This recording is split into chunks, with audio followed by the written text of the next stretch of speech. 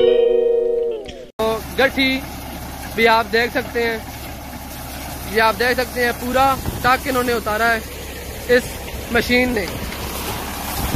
ये देख लें जी।